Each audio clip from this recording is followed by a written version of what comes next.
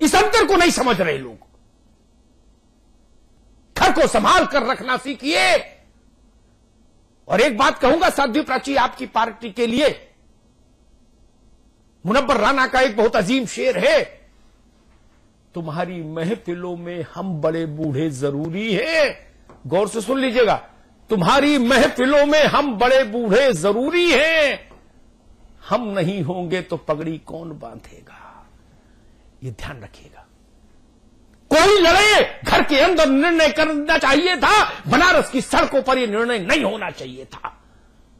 और कम से कम उन बड़े नेताओं के साथ तो ऐसा नहीं होना चाहिए था। नरेंद्र भाई हो गए, अडवाणी हो गए, जोशी हो गए, इन लोगों के, कल्याण सिंह हो गए, इनकी सीटों पर यह विवाद नहीं होना चाहिए था। इससे गलत संदेश जाता है।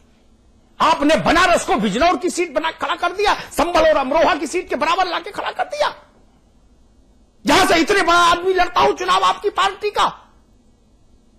ये मर्यादा का लक्षण नहीं है।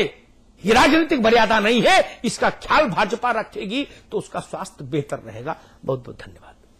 या तो सीट को लेकर भारतीय जनता पार्टी में रार की स्थिति बनती जा रही है। हालाँकि फैसला आला कमान को करना है कि इस पार्टी से कौन लड़ेगा, लेकिन जो हालत पार्टी की हो रही है, वो ठीक संकेत नहीं है। बहुत बहुत शुक्रिया।